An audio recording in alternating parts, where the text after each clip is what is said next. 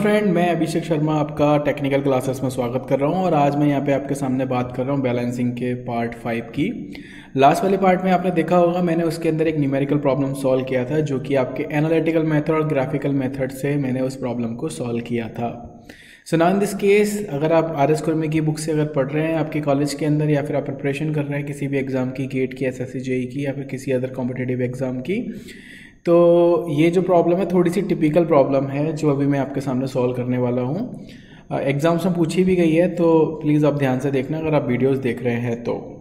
तो प्रॉब्लम क्या है, मैं आपके सामने एक्सप्लेन करता हूँ सबसे पहले कि इस प्रॉब्लम के अंदर दिया आपको four masses A B C D जो कि आपको मास दिख रहे हैं। Masses A B C D as shown in below are to be the completely balance मतलब कि जो चारों मासेस दिए हैं, आपको वो क्या दिख रहे हैं? आपको वो कम्प्लीटली बैलेंस हैं आपके सारे मास उसके अंदर कोई भी अनबैलेंस फोर्स की आपको ज़रूरत नहीं है। मतलब कोई भी आपको बैलेंस फोर्स क्रिएट नहीं करना है, कोई भी आपको रिजल्टेंट फोर्स आइडेंटिफाई नहीं करना है।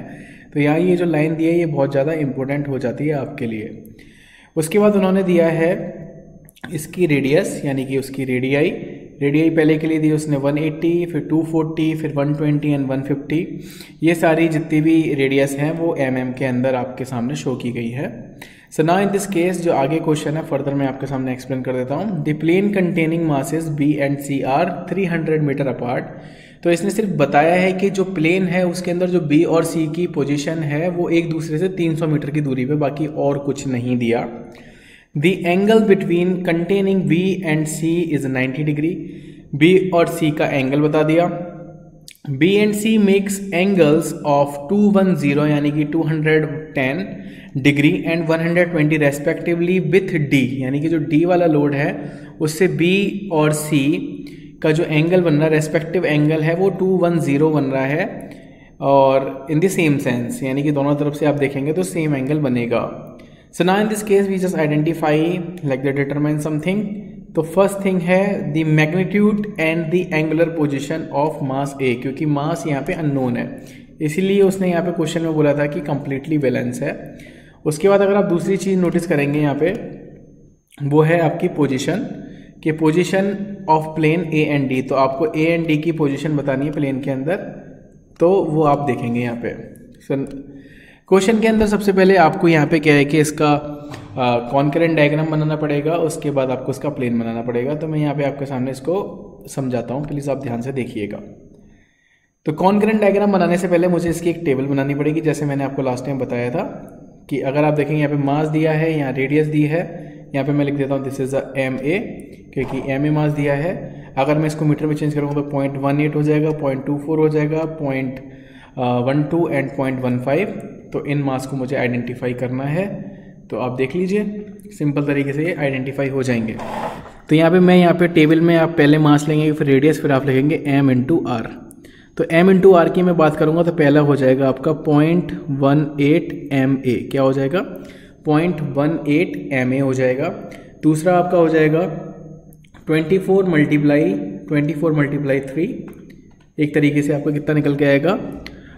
जैसे कि यहाँ पे पॉइंट टू फोर है तो आपका सेवन पॉइंट टू निकल के आएगा तो ये हो जाएगा आपका सॉरी सेवन पॉइंट टू फिर उसके बाद दिया है बारह पंजे साठ तो सिक्स हो जाएगा और पंद्रह चौका साठ तो वो भी सिक्स हो जाएगा। तो आपके पास यहाँ पे दिखा एम आर की वैल्यू अगर मैं इसको लिखना चाहूँ तो लिख सकता हूँ कि centrifugal force over omega square इसके बाद आपको बताया कि, क्योंकि इसके थ्रू मैं यहाँ पे एक डायग्राम बनाऊँगा जो कि कॉन करेंट फोर्स डायग्राम है।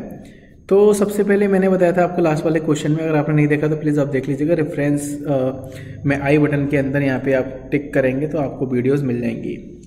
तो जो मैंने बताया कि उसने बोला कि दो फोर्सेस हैं बी एंड सी उनके बीच में एक 90 डिग्री का एंगल है। मैं यहाँ पे भी रेडियस सेम रख के आपको समझाने की कोशिश कर रहा हूँ।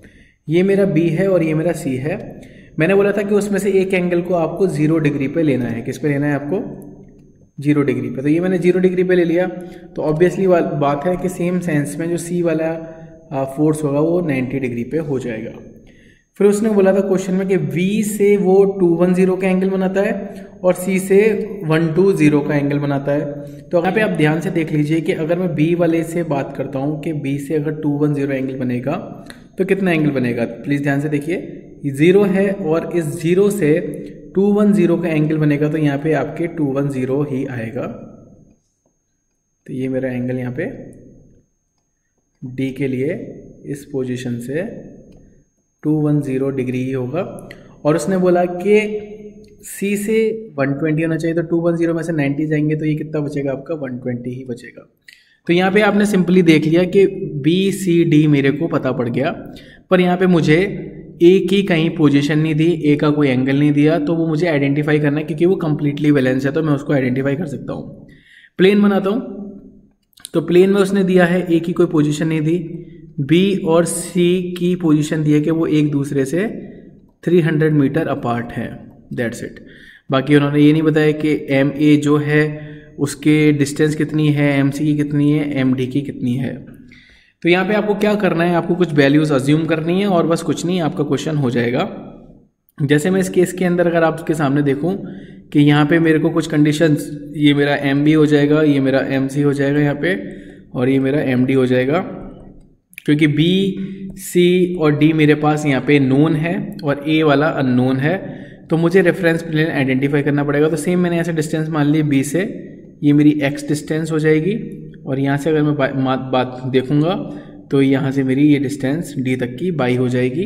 इसको मैं रेफरेंस प्लेन कंसिडर कर लूँगा। आपको आगे पता पड़ जाएगा इससे फॉरवर्ड डायरेक्शन में प्लस डिस्टेंस रहेगी इससे नाइन माइनस जो टेबल बनाऊँगा आपको उस चीज़ में समझ में आ जाएगा। तो ये इतनी टेबल मैं ऊपर ऑलरेडी बना चुका हूँ जैसे आपको पता होगा। और यहाँ पे इन्होंने मिस्टेक कर रखी है तो प्लीज़ इस मिस्टेक को इग्नोर करना। ये आपकी point one eight M A है। क्या है? Point one eight M A और ये मैंने बताया था twenty four multiply three seventy two होता है तो पॉइंट लगा दिया सेवन पॉइंट टू बारह पंजे साठ सिक्स आ गया फोर मल्टीप्लाई फिफ्टीन सिक्स आ गया।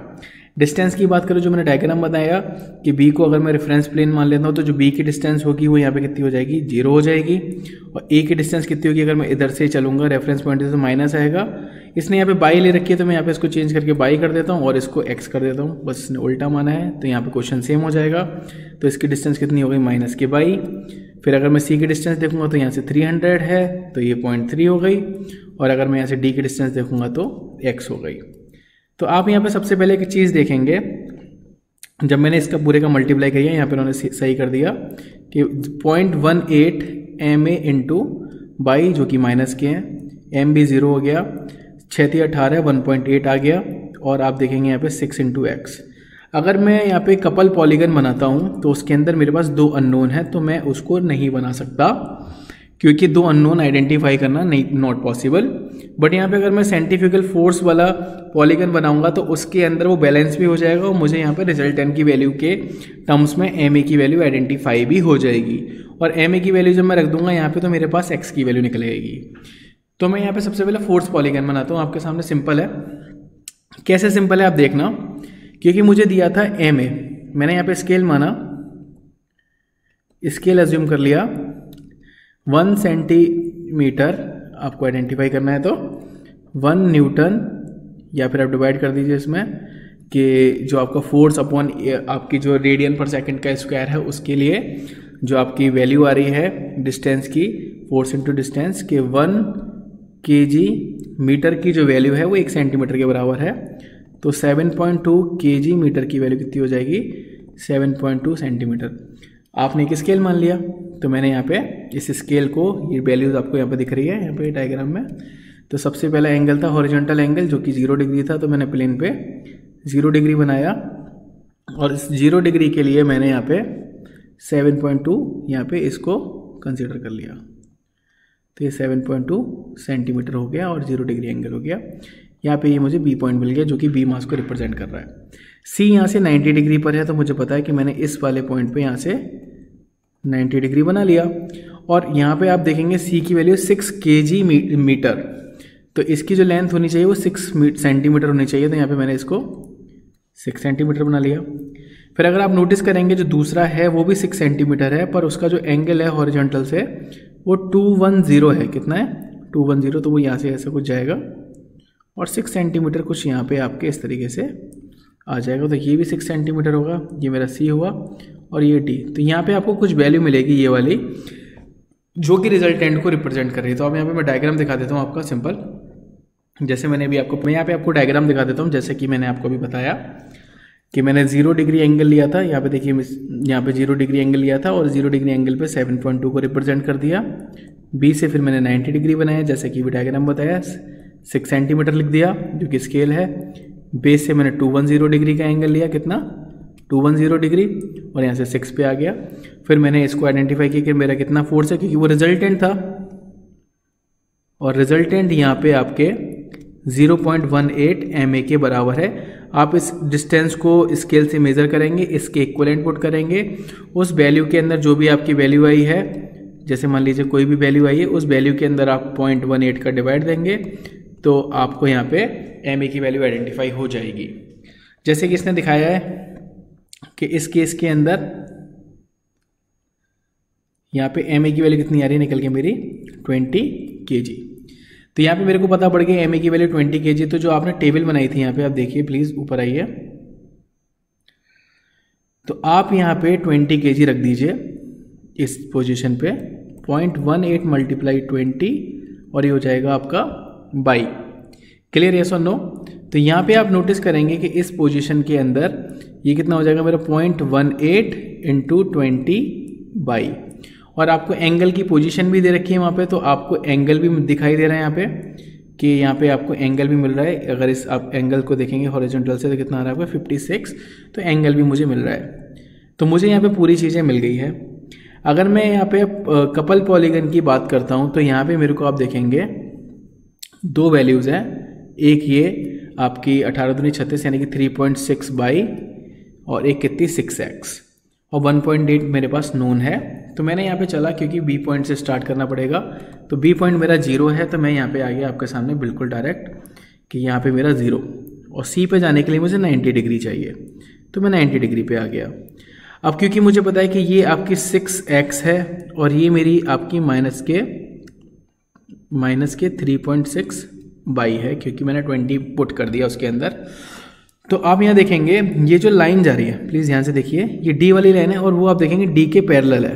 देखिए बिल्कुल ध्यान से, ये लाइन और ये लाइन इसके पैरेलल है एग्जैक्टली और ये जो लाइन देख रहे हैं आप, ये आपकी इस वाली लाइन के पैरेलल है जो कि मैंने यहाँ पे भी शो कर रखी है, ये आपकी लाइन दिख रही है, ये आपकी इसके पैरेलल है। तो मैंने यहाँ से क्या किया कि जब मेरे को ओ और सी पता पड़ा तो मैंने एंगल मुझे पता था तो मैं हॉरिजेंटल से एंगल बना सकता था यहाँ पे, जैसा कि आप देख रहे हो। तो मैंने स्केल लेके इसको डॉटेडली आगे बढ़ा दिया पैरेलल लाइन खींची। सेम ओ से मैंने इसको पैरेलल लाइन खींची और वो मेरे यहाँ पे डी पॉइंट पे मिल गए। जब डी पॉइंट पे मिले तो मेरे को यहाँ पे वैल्यू प्राप्त हुई सिक्स एक्स की और माइनस के थ्री पॉइंट सिक्स बाई की। तो आपको कुछ ना कुछ स्केल मिला होगा, उसके अंदर सिक्स का डिवाइड देंगे थ्री पॉइंट सिक्स का डिवाइड देंगे। तो आपके पास इजीली एक्स एंड बाई की वैल्यू मिल जाएगी। तो यहाँ पे एक्स की वैल्यू कितनी दिख रही है आपको?